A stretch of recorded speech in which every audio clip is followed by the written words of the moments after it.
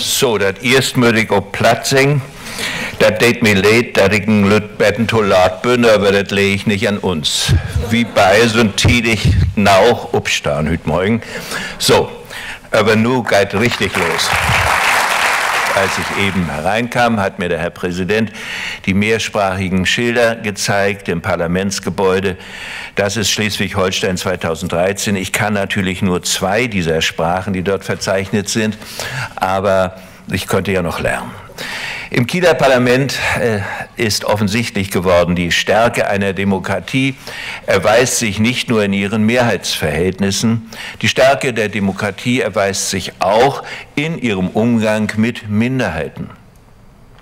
Schleswig-Holstein ist in den vergangenen Jahrzehnten demokratisch und gesellschaftlich gewachsen, weil es seinen Umgang mit Minderheiten erst zu einer neuen Politik und dann zu einem neuen Alltag gemacht hat. Artikel 5 der Landesverfassung schützte schon früh die dänische Minderheit und die friesische Volksgruppe. Seit dem 14. November 2012 schützt dieser Artikel auch die Kultur und Sprache der Sinti und Roma in Schleswig-Holstein. Für diesen Beschluss, für dieses Novum in einer Landesverfassung möchte ich dem Parlament von Schleswig-Holstein ausdrücklich danken.